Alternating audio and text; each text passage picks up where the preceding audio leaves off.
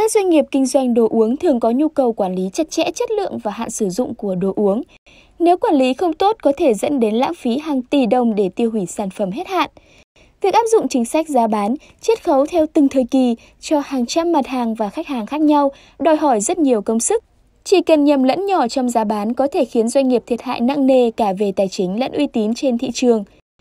Phần mềm Amis kế toán đáp ứng đầy đủ các nghiệp vụ kế toán dành cho doanh nghiệp theo thông tư 133, thông tư 200 của Bộ Tài chính, phù hợp triển khai cho các doanh nghiệp thuộc mọi lĩnh vực, ngành nghề kinh doanh có quy mô từ nhỏ vừa đến lớn.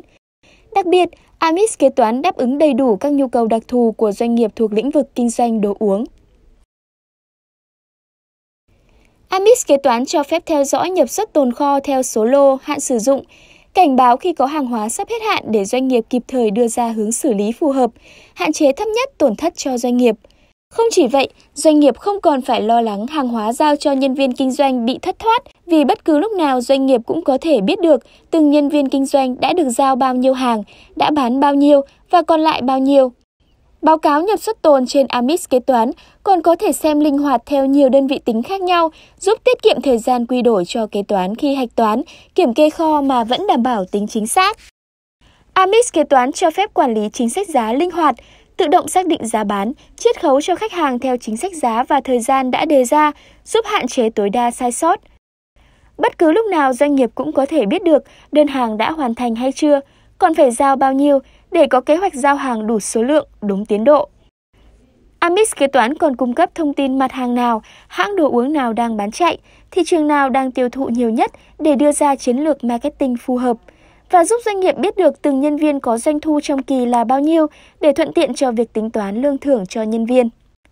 Doanh nghiệp có thể quản lý chi phí phát sinh theo từng khoản mục như chi phí vận chuyển, chi phí marketing, hoa hồng cho đại lý, biết được chi phí nào chiếm tỷ trọng cao nhất, phân tích được biến động giữa các kỳ để đưa ra quyết định nhằm tối ưu chi phí, gia tăng lợi thế cạnh tranh của doanh nghiệp.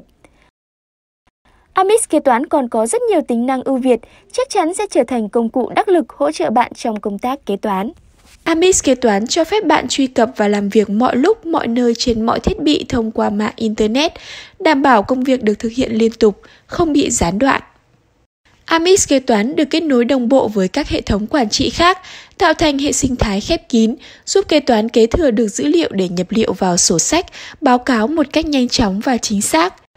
kết nối với các phần mềm bán hàng, kế toán kế thừa đơn hàng từ bộ phận kinh doanh để ghi nhận doanh thu và xuất hóa đơn. Bộ phận bán hàng nhanh chóng nắm được số liệu tồn kho, công nợ của khách hàng. Kết nối ngân hàng trực tuyến để chuyển tiền, tự động hạch toán các giao dịch phát sinh và đối chiếu sổ phụ mà không phải trực tiếp đến ngân hàng.